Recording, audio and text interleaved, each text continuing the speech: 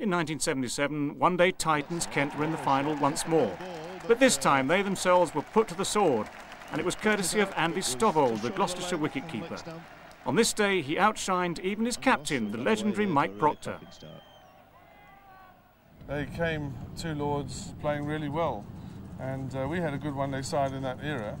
Unfortunately, we couldn't handle them on the day. We, we, we were, you know, we were bundled out uh, chasing, I think, a small, not a, not a huge total, but a, a good total. And Gloucester have got away here to a really cracking start. Julien to Stovold. And that's four more. Bad ball there by Julien, but a beautiful shot by Stovold. One gets the impression looking at this young lad out there, it looks as though he's just having a pre-match net. Very good delivery this from Julien. But uh, Stovold, full marks, he makes the most of it. Stovold facing Julien. And that's a big one. Half volley outside Langsdowne, and he's cracked that away for four as well.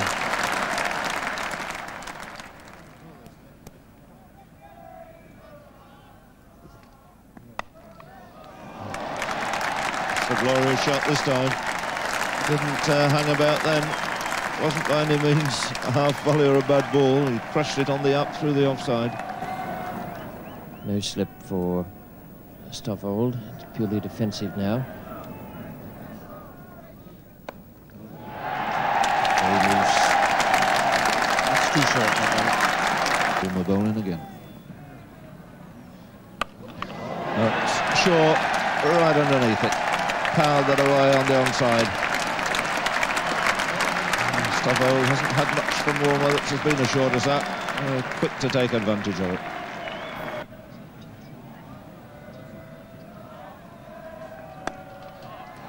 He's out. Fine catch.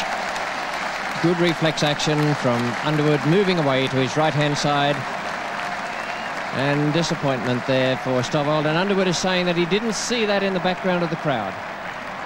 Very difficult to pick up on that side of the ground, which is lower than the left-hand side as you look at your picture. And it came from out of the shirt sleeve spectators at Underwood. Stovold gone for 71. Caught Underwood bowled John Shepherd, and it's 144 for two. Derek Underwood bowling his 10th over. Well, it's a calculated gamble to bowl at uh, someone like Procter in the same way as you bowl at, uh, say, Stovold. There's only one man out on the leg side. That's a deep backward square. Procter is very, very strong, hitting away over the top on the onside.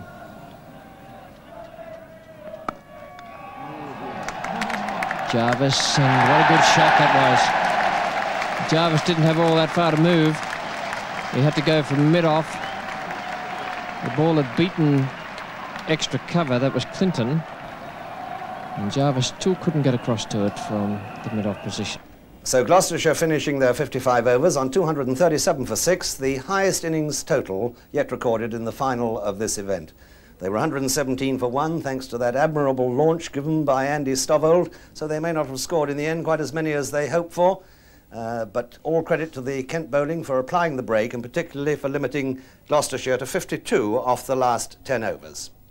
So Kent uh, set off to make 238, a task which was thought to be well within their compass on this beautiful batting pitch. In fact, uh, Bob Woolmer and Graham Clinton made a distinctly sticky start against some excellent fast bowling from Mike Procter roaring in from the pavilion end and Brian Brain.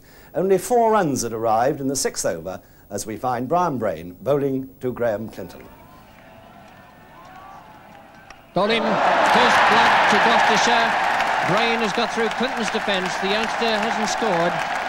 And Kent are four for one wicket in reply to Gloucestershire's 237.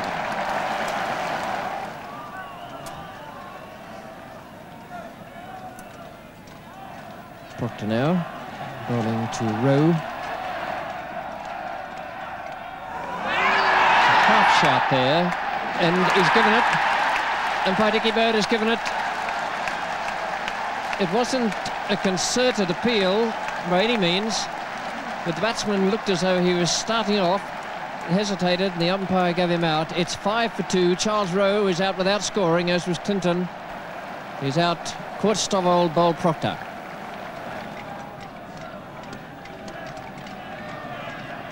Pacific Pearl has one ball to face in this over from Procter.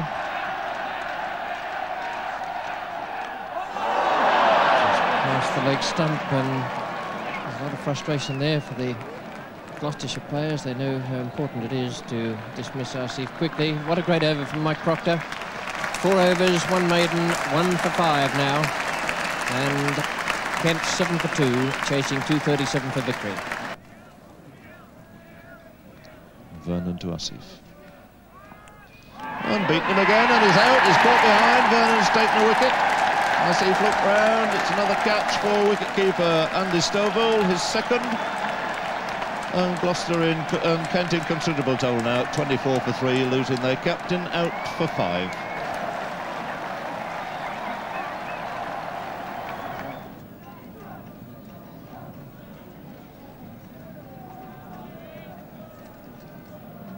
Shackleton to bowl again. Another glorious square drive. Bob Woolmer really beginning to flourish here. Another Pat Lords crowd here. Delightful leg glance down there by Bob Woolmer. That'll go through for four. And he's really bringing Kent very much back into this game. Kent, remember, have been in two of these finals, have been successful in both occasions in the past. Striving here for another win over Gloucester. That wouldn't be anything unusual. It's 1969 since Gloucester beat them in any form of one-day cricket. But uh, they've really got some sort of a chance here now.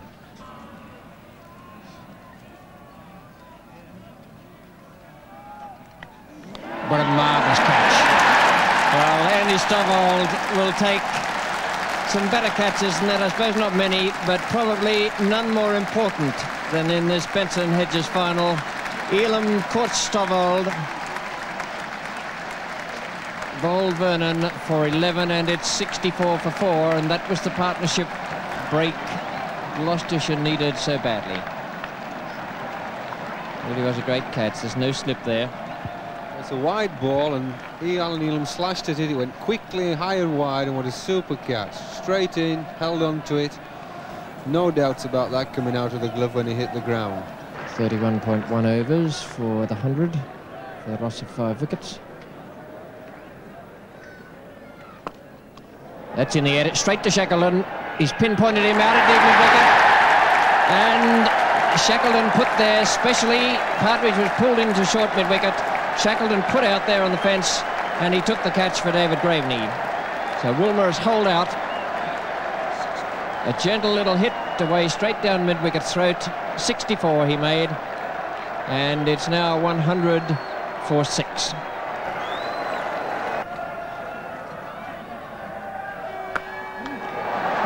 Well, that's gone many a mile in the air. And he's put it down. The Gloucestershire captain diving for it.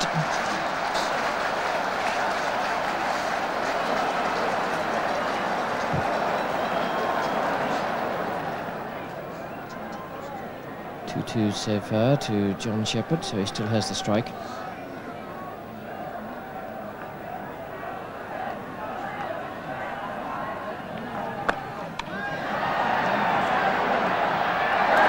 Procter's got it this time. No trouble there. The ball has disappeared into a seething mass of Gloucestershire fans. One little lad in the centre of the screen has got it. I doubt if you'll see that again. And Gloucestershire have won this Benson and Hedges final by making 237 for six against 173 for Kent. Victory by 64 runs to Gloucestershire. Now, to start with, the Benson Hedges Cup, which effectively kicks off the seasons these, these days, and the Schweppes County Championship.